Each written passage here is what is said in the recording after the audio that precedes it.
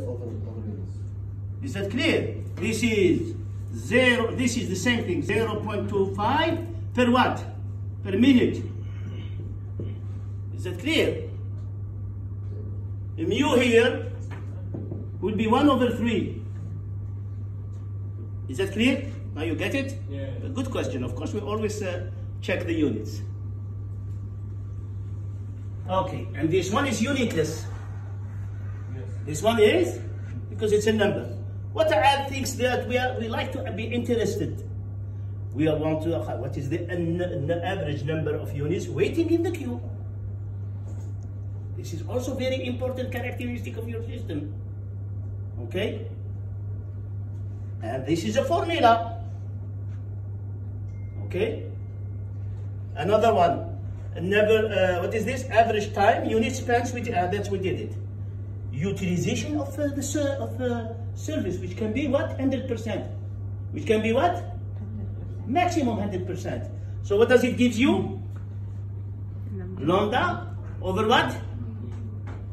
Did you see me when I put the example? I told you that will be not really uh, uh, right because you will have utilizations beyond one, beyond 100%, which is not possible.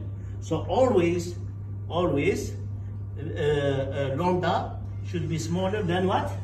Mu. Okay. So another, uh, another, uh, another. Uh, this is what is it? Please help me. What's this? Average time. average time in the system or in the queue? In the system. Okay. And another one, uh, what is it? Utilization of the resource. Which is what?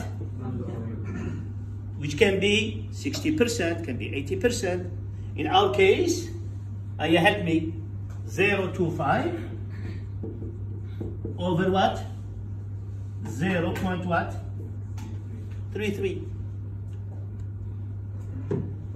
What did I ask? The mathematics is it.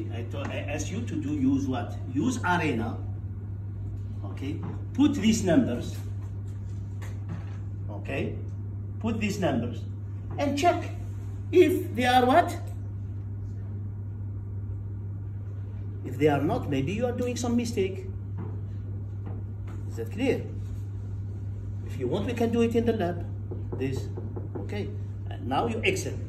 Also, you can. So Arena is a way of simulating this process.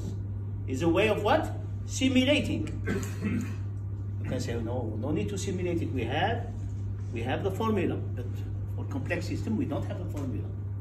Is that clear? We don't have the formulas.